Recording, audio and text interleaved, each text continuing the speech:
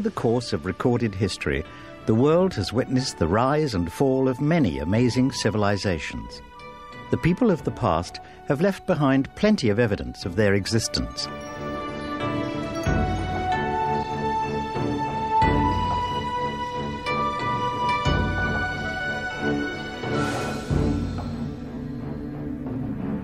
The world is scattered with temples, tombs, and cities.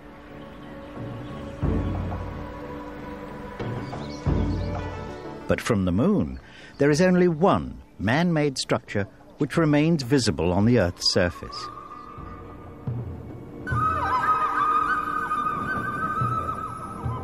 This structure snakes across 1,400 miles of land. This mammoth monument to the past is the Great Wall of China. The birth of China is the subject of an age old creation myth. According to Chinese legend, the earth and the sky were created by Bangu, the primal man. The winds were formed by his breath, and thunder was created from his voice. Bangu's tears formed into two great rivers, waterways that continue to play a huge part in the life of the Chinese people, the Yangtze and the Yellow rivers. It was on the banks of the Yellow River that we now believe Chinese civilization began around 5000 BC. It is perhaps the longest single continuous civilization that still exists today. But what some people don't realize is that it's also an amazingly flexible civilization. What we think of as Chinese civilization, in fact, includes influences from all sorts of different cultures Central Asia, the Mongols, the Manchus, and from Southeast Asia as well. The ability of Chinese culture to survive in its own terms without needing to import things from other cultures of the world or to need them in order to be self sufficient.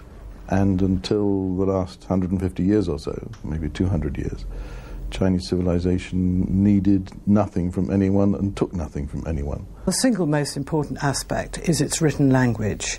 Chinese has been written with the same characters for over 3,000 years, which means that educated people today can still read the Chinese written 3,000 years ago. There is no other part of the world where this is true. So people today have a sense of immediate access to the past. The Chinese as a cultural identity is very much built on uh, the writing, the Chinese written language, codified by the first emperor of China in the 221st BC. And before that, if we trace back, and Chinese writing started at least uh, 1,000 or 1,500 years earlier.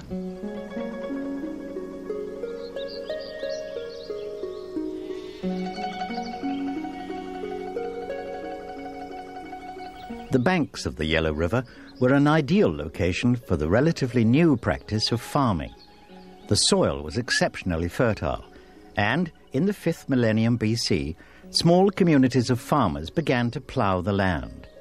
They grew crops such as millet and wheat, and reared animals pigs, dogs, cattle, and goats. It is in this Yellow River region that archaeologists have discovered the remains of small villages. Their excavations at sites such as Banpo have helped to recreate the kind of settlement that these early farmers inhabited. Banpo was an oval shaped village, its population perhaps 500.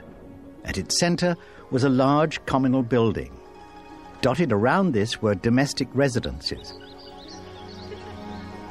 The Banpo buildings were surrounded by a defensive ditch, almost 20 feet deep.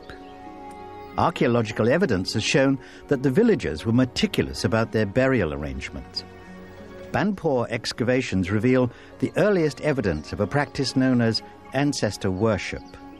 It looks as though ancestor worship, that is, the offering of respect and nourishment and food, wine to ancestors, began perhaps 2000 BC, that is, 4,000 years ago. It may be that it started much earlier, but we have no serious evidence. One method that we know about, which certainly has existed since the earliest times, is to invite the ancestors, for instance, to a family feast. and quite often an oracle would be brought in and used to channel messages from the ancestors' spirits. So, for instance, when a feast was laid out, the food would first be offered to the ancestors. The oracle then would be asked to say what they thought of it.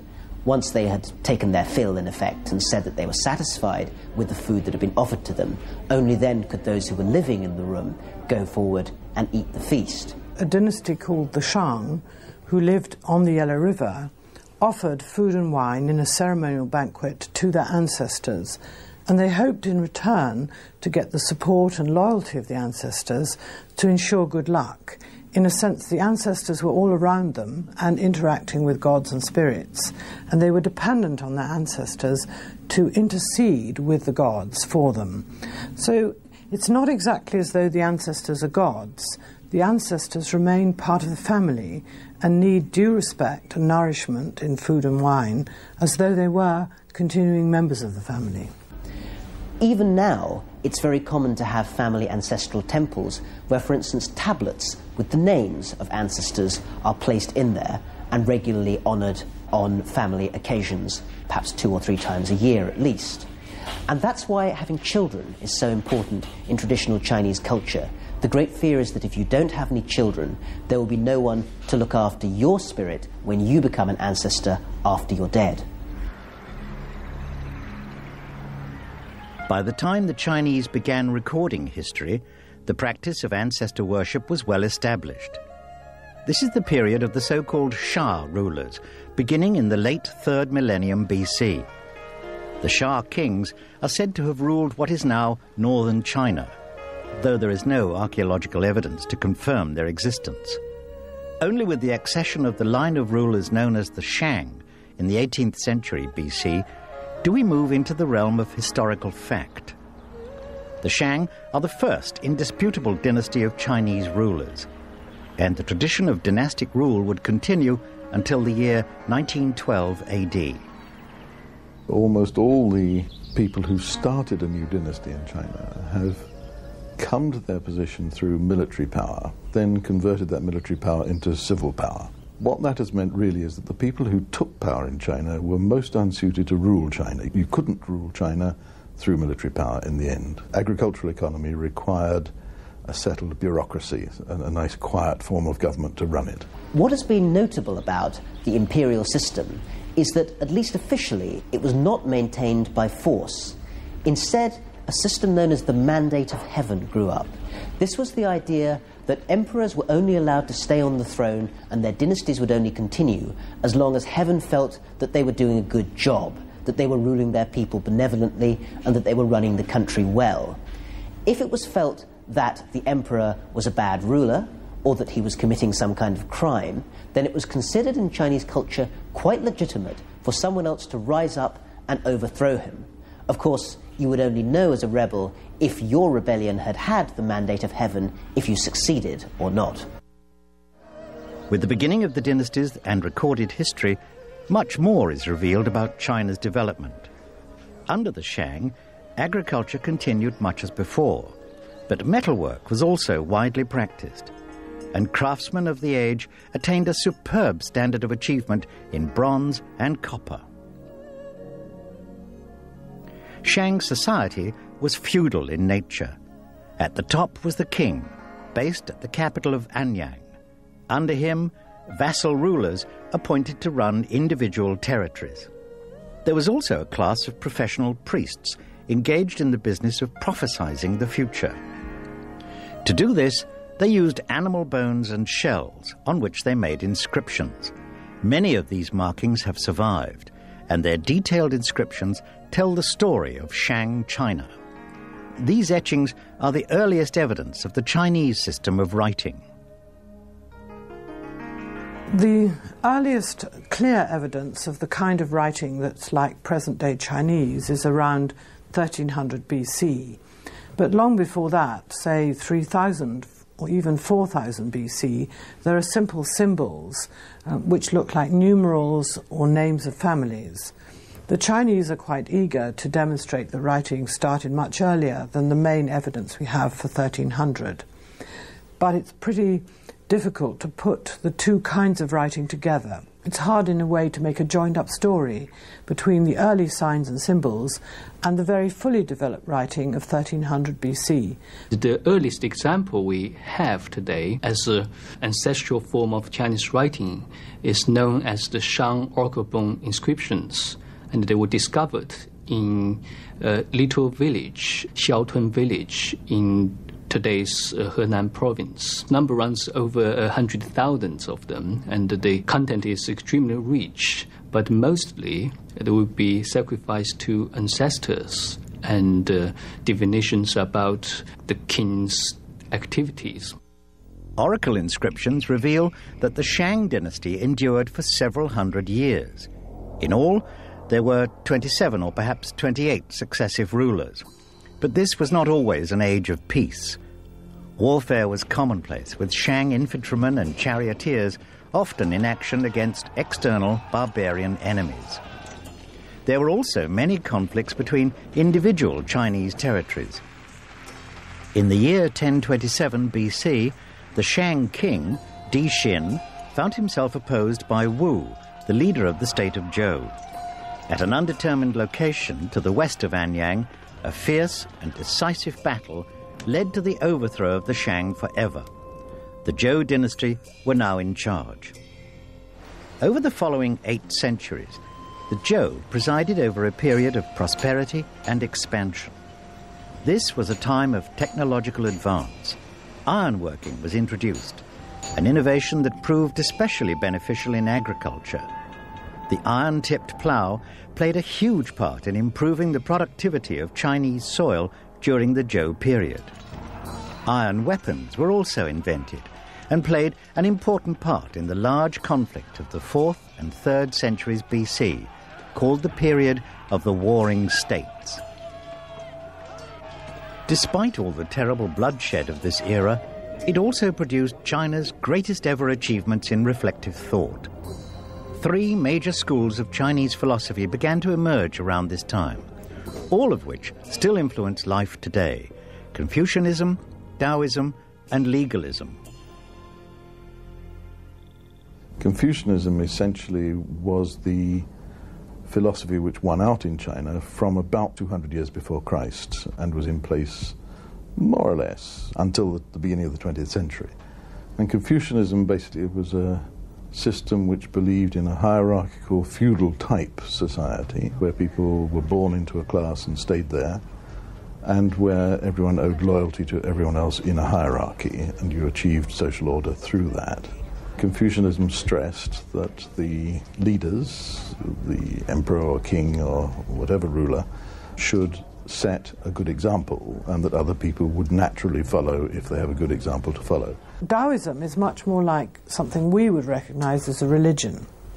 It starts off as a philosophy or way of life, like Confucianism in the late centuries BC, but it develops into a religion and is influenced quite strongly by Buddhism. Confucianism and Confucianists suggest you must integrate with the world Taoists suggest you withdraw from the world, that you must be in harmony with nature and be removed from the difficulties and bad things of society. You must cultivate yourself physically as well as mentally through breathing exercises, what you eat, and so on, and you may become immortal. Now, immortality is what people sought most of all. They went to terrible lengths, even eating mercury and jade, because they thought it would turn them into immortals. But also, there was, if you like, a metaphorical side to it, that by cultivating yourself as a person, you would become a better person, and that there would be, if you like, an immortal memory of you. Legalism is a rather different sort of thought system from Confucianism. It believes ultimately that human beings are not good, but in fact evil in their nature, and therefore it's necessary to set up a system of law of rule of law that prevents that evil nature coming out and destroying society. The most notable philosopher of legalism, the philosopher known as Han Feizi, wrote down how much he disliked and distrusted the Confucian idea of ritual as being the most important method of ordering a society. He said that ritual was not enough and that without law, the evil nature of human beings would always come out and destroy society.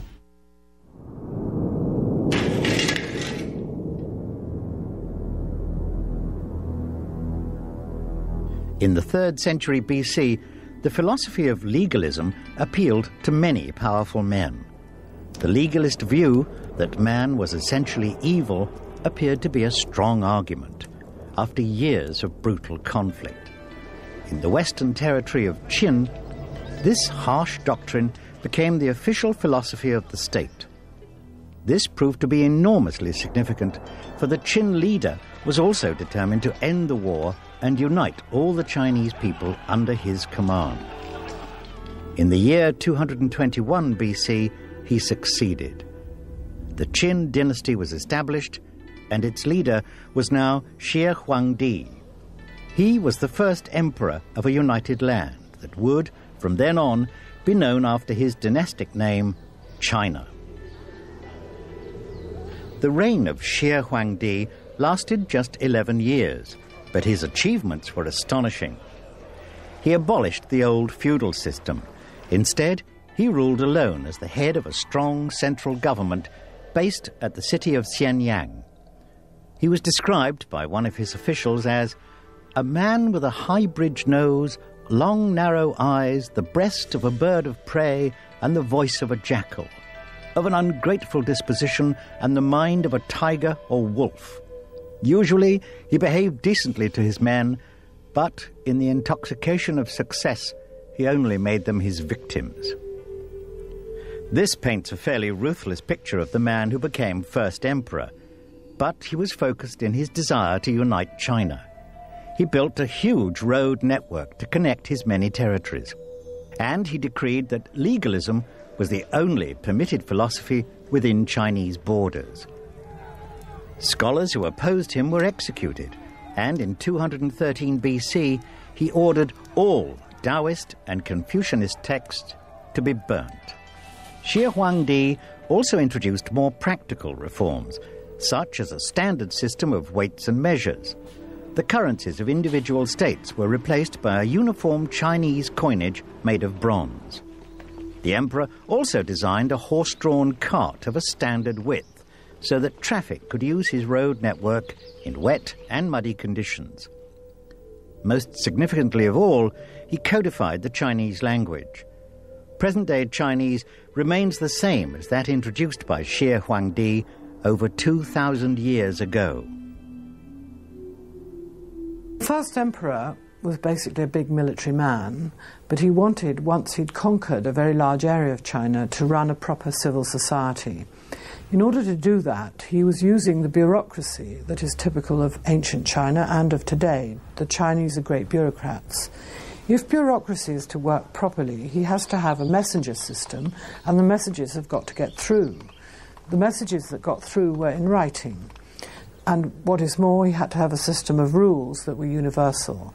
So, to do that, he unified the script. He did not, in fact, change the language. The Qin script was very conservative in a way. It's very much close to the Shang and the traditional Zhou court script.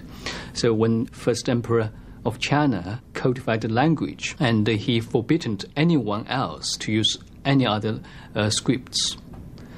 And today, through archaeology, we discovered uh, all kind of evidence uh, showing that uh, writing was in a great diversity and you can see all kind of uh, like a bird script and uh, a script kind of written like a little bird or a little uh, snake and you can see some uh, new elements being added uh, to the writing which probably represent some kind of uh, local dialect and all these things uh, disappeared after the codification, and you can see Chinese writing kind of being brought into the mainstream. Official writing become uh, something sacred. Nobody can change it. The Chinese writing system is special in that it is a system which represents ideas rather than noises. Our alphabet represents the noises coming out of our mouths. It's a phonetic system. The Chinese system initially didn't seem to attempt to do that. It drew pictures of things which were recognizable, and it drew pictures of events or derived pictures of things. For instance, if you put the sun and the moon together, you get a, a new concept, meaning bright, because that's something that the sun and the moon share. So it was more a kind of ideographic system, a system which represented ideas in your head not the noises that your mouth was making. There is a very strict limit on how many pictures you can create.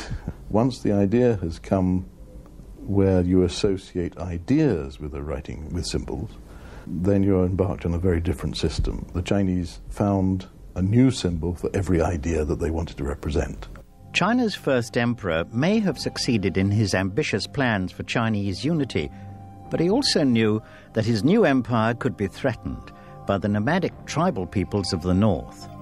It was to deal with this potential threat that Shi Huangdi ordered the construction of the most astonishing defensive fortification ever seen on Earth. Shi knew that it would be difficult to wipe out the wandering northern tribesmen. Instead, he decided to make his nation secure from the inside. Many northern Chinese states had already built defensive walls with the same intention. Now, the emperor decided to join them all together into one enormous wall, the Great Wall of China. The Great Wall of China is classified as one of the seven wonders of the world, but not as one of the seven wonders of the ancient world. The classical writers in the West had no knowledge of its existence. If they had, it would have been on the list.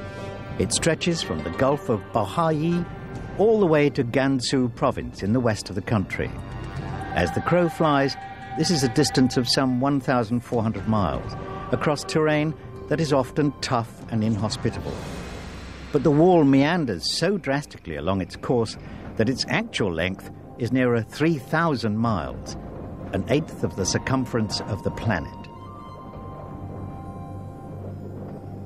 There were many bits of wall along the northern boundaries of China, and to some extent, vertical walls which went kind of north south, dividing the many different territories of China up from each other because they were all fighting each other and they built walls between each other to try and delineate the territory and keep other people out.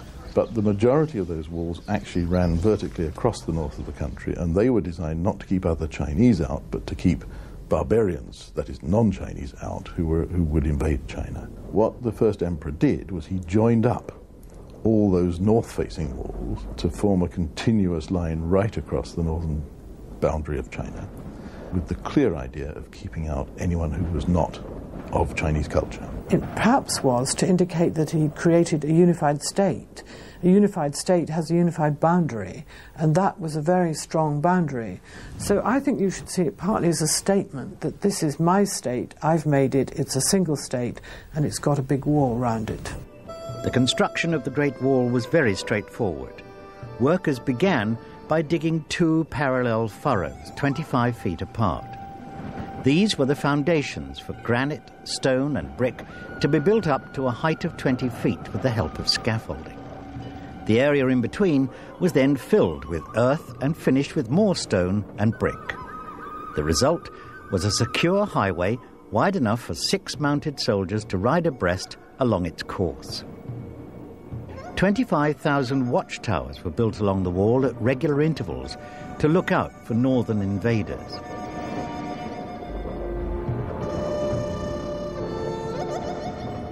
It was a massive type of public work for that early in history. In fact, the Great Wall that we have today does not date from that period. It was destroyed during the intervening centuries and rebuilt by the Ming Dynasty in the 15th to the 17th century. But the historic accounts that we have of the 300,000 or so men who were forced into building the wall and the huge mounds of earth which were pounded into place to build the various sections of it show that this was a public work on a scale that was simply unprecedented in Chinese history and which we had seen in very few civilizations previous to this period.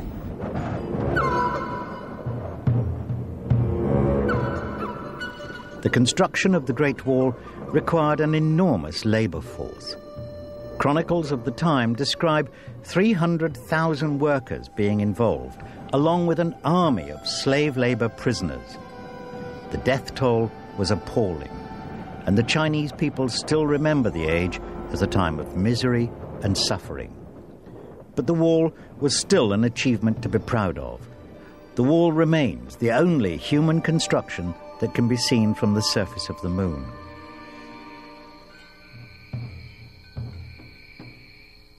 This was not the only incredible construction commissioned by Shi Huangdi. His greatest weakness was his fear of death. There were at least three assassination attempts on his life.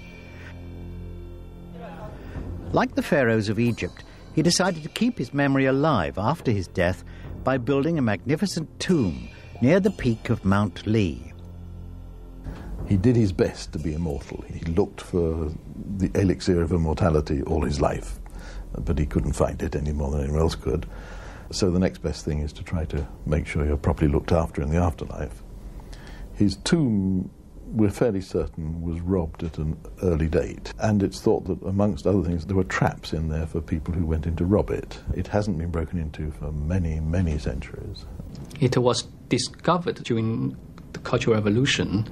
Now it's a museum and with three huge pits full of terracotta figurines in immense size. Some of them runs like over 200 centimeters. The soldiers were originally had bronze weapons, but these bronze weapons were taken by peasants' rebellion or rebels. When they first got in the tomb, the first thing they wanted was uh, weapons. The terracotta army was modeled as a military force to symbolically defend the emperor. Over 7,000 life size figurines have been unearthed from the three vaults. The first of these chambers contains statues of infantry soldiers lined up in 40 rows, a force of over 3,000, with a vanguard armed not only with the bow, but also with a weapon invented by the Chinese, the crossbow. Every figure is impressively detailed the belt buckles of the regular troops, the headgear worn by the officers, the horses of the cavalry and chariotry. But for many, it is the sheer realism of the soldiers' faces that make the terracotta army such a remarkable discovery. The first emperor had killed, massacred, the armies of six other states, thousands, hundreds of thousands of people. Now, if you believe that the armies are waiting for you on the other side, and after all, life continues after death in China, the same as it is now, you've got six armies to face all over again. So you have 10,000 terracotta warriors, all armed with real weapons because you are really afraid. So I think the most important thing about the terracotta warriors is that it shows that he was really afraid. The terracotta army shows remarkable attention to detail. For instance, warriors with long hair, one can see little hairbands tying their hair back to stop it falling into their faces in battle. If you look at the underside of the soles of the feet of the soldiers at the bottom of their shoes, you can see little bumps raised there to give them better traction as they were walking or running around in battle.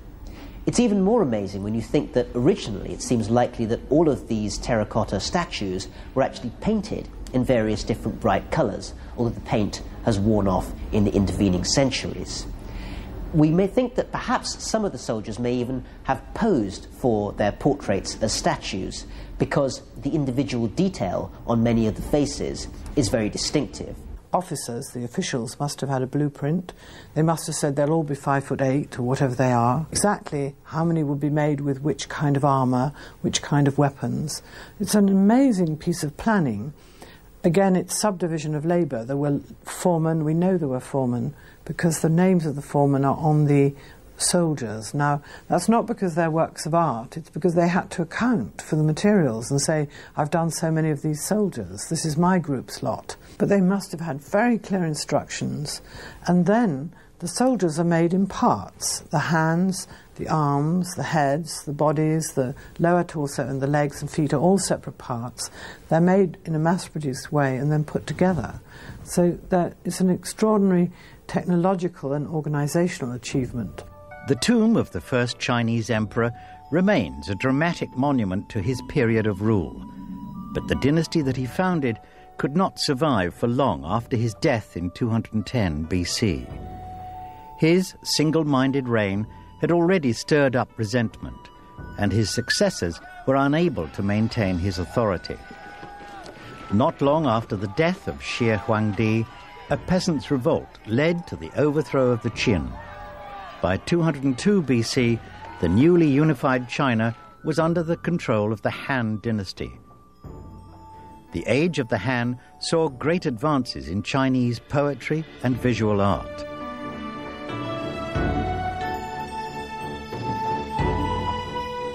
In political philosophy, the harsh doctrines of legalism were replaced by a flexible interpretation of Confucianism. The birth of the famous exam system for Chinese civil servants dates from this time. As late as the 20th century AD, the Confucianist system of appointment on the basis of merit was still in place. The Chinese system trained its administrators for its empire by teaching them classical Chinese, which no one actually spoke, by teaching them Confucian philosophy, which the vast majority of the Chinese population couldn't understand or read because they were illiterate, saying that if you understand these things, philosophy, and understand what people are about, you can go out and do any kind of job in the empire, whether it's running uh, an irrigation system on a large scale, or being a magistrate and, and administering the law, or a tax official, whatever. The Han Dynasty was also an age of further land expansion.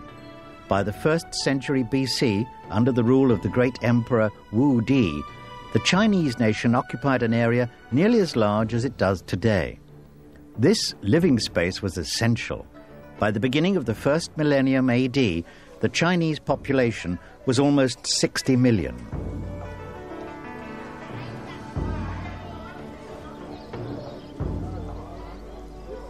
China under the Han Dynasty expanded to a very large area of territory. It didn't include most of what we now know as Tibet, but aside from that, most of modern China was at least nominally included in the Han Dynasty's area of control, although much of that was farmed out to local rulers. It competes with the Roman Empire, but it's bigger, more productive, perhaps better organized, less dependent on variety. The Roman Empire was run pretty coherently, but the Chinese one even more so.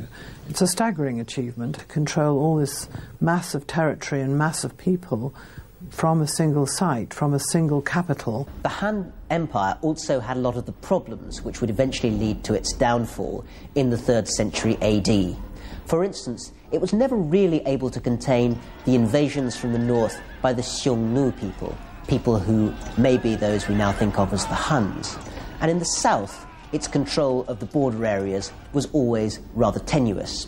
In addition, keeping such a huge empire going financially was always a problem and its tax gathering powers were always not as good as they might have been.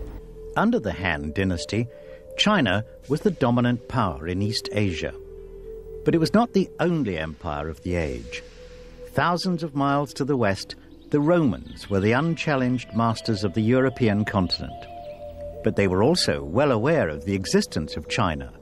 As early as the first century BC, the two civilizations were in communication with each other and the trade of one product provided the reason. The Chinese were possessed of a skill which even the ingenious Romans could not copy the weaving of silk. Silk is still one of China's most famous export products, but during Roman times, the secret of its production was totally exclusive to China. If wealthy Romans wished to adorn themselves with this wonderful material, they would have to buy it. And they did. For this reason, a great trade route became established in the first century BC. Beginning around the Yellow River, this overland highway stretched all the way across Asia to the Mediterranean lands controlled by the Romans. The 7,000 miles of route became known after the Chinese commodity that the Romans were so keen to obtain the Silk Road. Relatively few pieces of silk actually made the straight journey all the way from China to Rome. The middlemen in Persia and in India formed on their own a very important part of the silk trade, and that kept a lot of the demand for luxuries going during the early periods of the first and second centuries AD. The spread of ideas like Buddhism, which came from India to China via some of those silk routes, shows the intellectual and social importance of the route, as well as its key nature as a trade route. It was one of the few ways in which China did communicate with other major cultures across that Silk Road. Generally, China has not been interested in international trade, or indeed any kind of commerce or intercourse with non Chinese peoples. It was only when the West kind of forced itself on China that China begins to open up to Western influences. China didn't want that and tried not to have it. And so Chinese foreign policy has generally been a policy trying to keep people out and keep the Chinese in, not to trade, not to have diplomatic relations, and generally speaking, to remain isolated. It was forced out of that position when the West, with its great mobility, the advances in shipping in particular, and the advances in weaponry, was able to force China to ch- change its stance. The Silk Road was the most exotic trade route ever built. For centuries, caravans brought precious metals and gemstones from the west in exchange for the eastern silk. Along the way, these products would pass through mountains, plains, deserts, and fabulous cities Tashkent and Samarkand, Damascus and Baghdad, Alexandria and Antioch. All along the Silk Road, merchant middlemen were the real driving force. Typically, a Chinese trader would sell his fabrics to a trader in India, who would then journey west to trade with the Roman merchants of the eastern Mediterranean. Roman money underwrote the whole business, and after the fall of the Western Roman Empire, trade dwindled for a while. But trade along its route did increase again and continued well into the second millennium AD.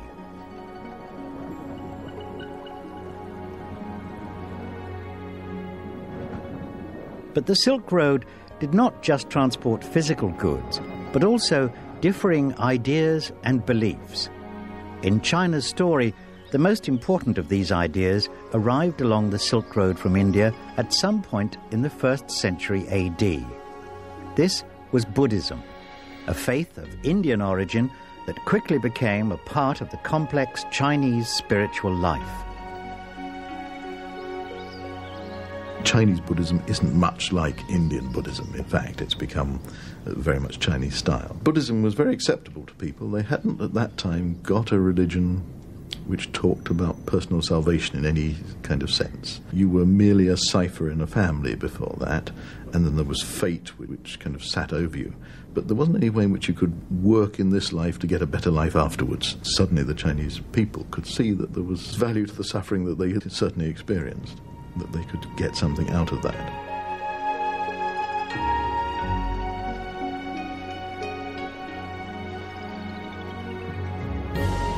Many of the Buddhist temples have failed to survive the passage of time. Destruction has also been the fate for many examples of a kind of building that symbolizes Buddhism in particular and the exoticism of the East in general the pagoda.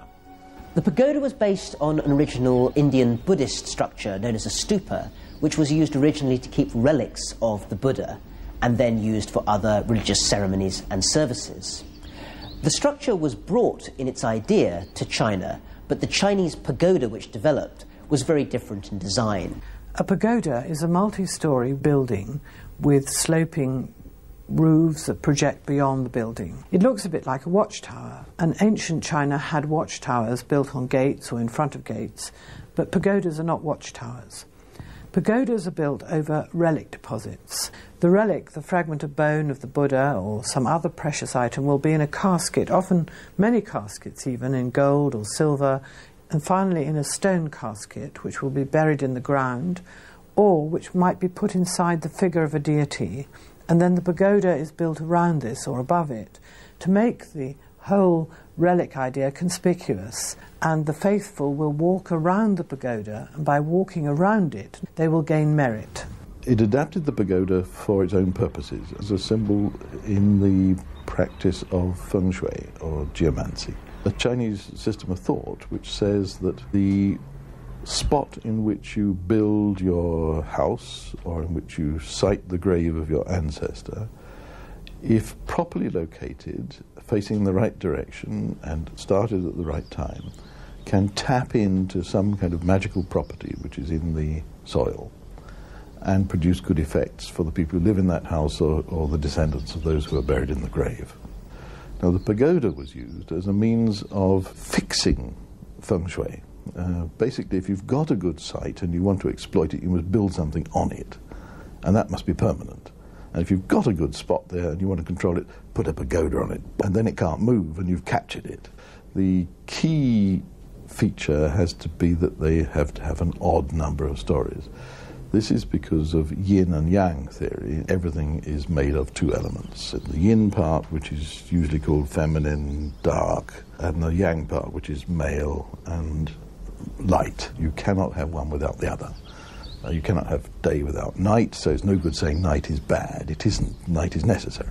And the world constantly is in flux between yin and yang. So they're complementary and opposite. Yang numbers are odd, and yin numbers are even. There is a bias towards yang, and pagodas are supposed to have a yang number of stories.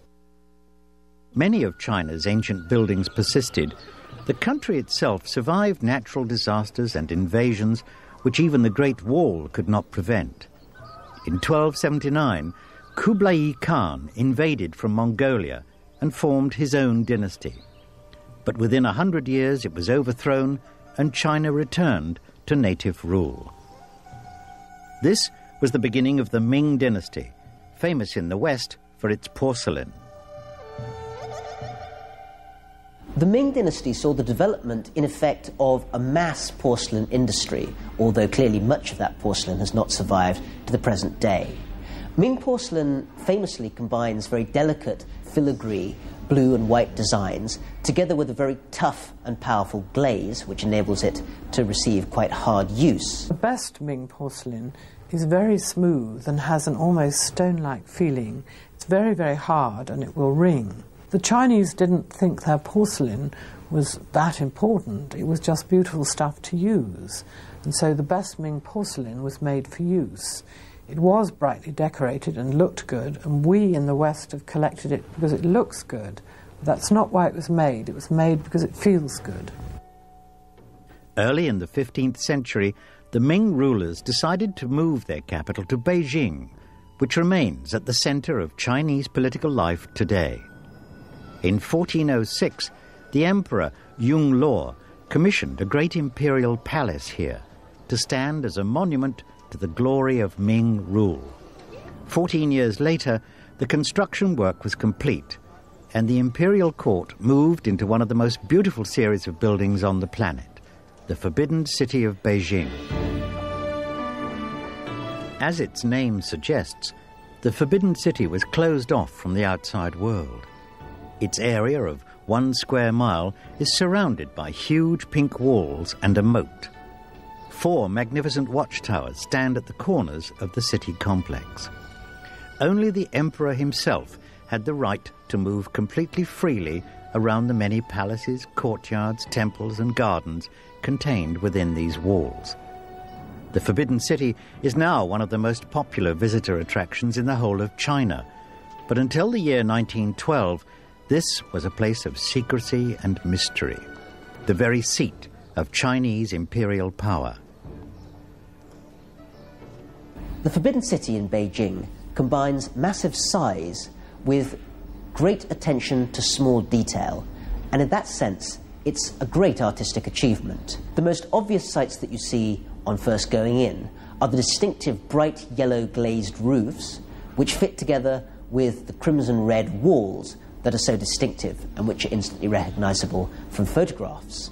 If one thinks about the amount of work and time that went into the design of such a massive enterprise, one realizes the resources that were available to the emperors and quite how magnificent their rule and lifestyle was. The sides of the Forbidden City are miles away. As you walk into the great courtyard, the sides are way off, out of sight. You can hardly see them as you walk forwards. So I think it was meant to inspire awe. You didn't actually meet the emperor there. The emperor sat in the main hall, and his officials came twice a year to kneel in front of him, filling the courtyard. The courtyards are immense and contain hundreds, thousands of people. So you were intimidated, if you like, by this huge body of people.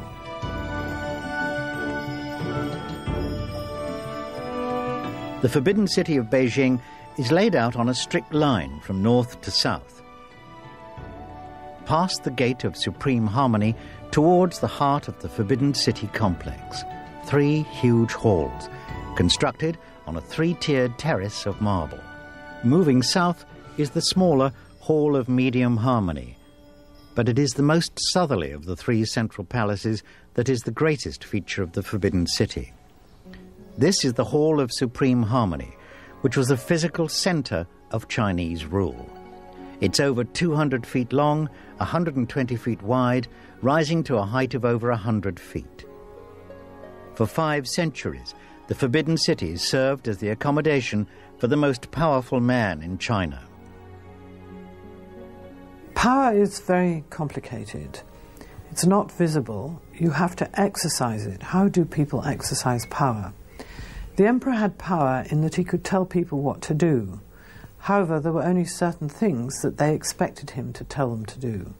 So his power was constrained by what they expected, and perhaps his officials were, in literal terms, more powerful. They could say, go and build the Great Wall, go and build the Forbidden City. On the other hand, if the emperor asked for something, be it a war or a great wall, the officials had to try and do it. So his power resides in both the confidence of the officials in the emperor and their competence to do what he asks. During the Qing dynasty, in the 17th and 18th centuries, the Chinese empire expanded massively because the emperors authorized large expeditions of troops, particularly into Central Asia and also towards Tibet. However, it wasn't just in military power that the emperors had their greatest say. They also had the ability to shape an entire culture, for instance, spreading particular methods of thinking about Confucianism or dealing with rebellions in uh, provincial areas. We know from records which have been kept in archives that quite often emperors would take a very direct and personal interest in the administration of often quite obscure and distant parts of the Chinese empire. And the emperor's words are always distinctive on a document because he was the only one allowed to use bright red vermilion ink to note what he thought and what he thought should be done on the various official documents. The Ming dynasty would last for nearly 300 years, only to be overthrown as all the others had previously. It was succeeded by the last dynasty, the Qing dynasty, which would last up until 1911. Only then would the dynasties collapse and the era of the emperors really end. Treasures like the Forbidden City, the first emperor's tomb, and the Great Wall of China remain as a physical testament to thousands of years of China's ancient history.